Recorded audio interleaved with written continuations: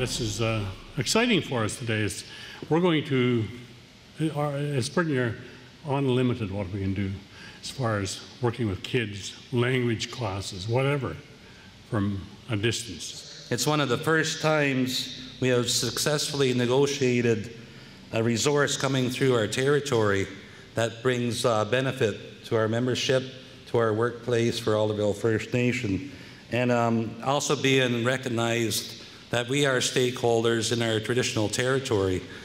And that's one of our main, my main focus. I think our leadership, we're always saying resource sharing in Ontario is great, and it's about time First Nations have a, share some of that piece, either be through work or what we see here today well, welcome everybody. Thanks uh, very much, uh, uh, Chief, and, and to Dave.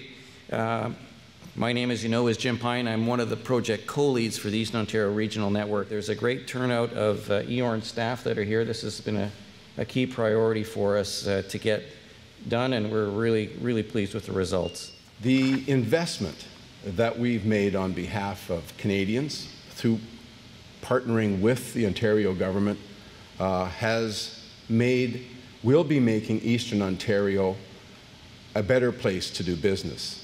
We had an idea nearly seven years ago now that one of the key ingredients to the future prosperity of Eastern Ontario would be to ensure, as best we could, that the residents and businesses across our region could get connected with higher speeds and greater capacities to the internet. We took that idea along with the well thought out plan to the federal and provincial governments to garner their support, and I'm so pleased that, that both saw the strong merits of this project. Now, today's launch is another success in the launch of this $170 million project. And that number, believe me, is uh, an underestimation. It's a game-changing event for Alderville. So it's, it's, it's uh, something that uh, is going to make a huge difference to this community, and I know everybody here has to be very excited about it. And it's because of these real tangible benefits that our con county contributed $590,000 towards the project. And the Alderville First Nation has been a key partner with the county in the commitment to expand broadband. And I'm not surprised in the least that this is the First Nation project that EORN has launched. And so congratulations. You have worked hard to pull this project together. I'm sure these new connections will serve the community well. At Bell, we have immense pride in developing the best available network and services on behalf of our customers.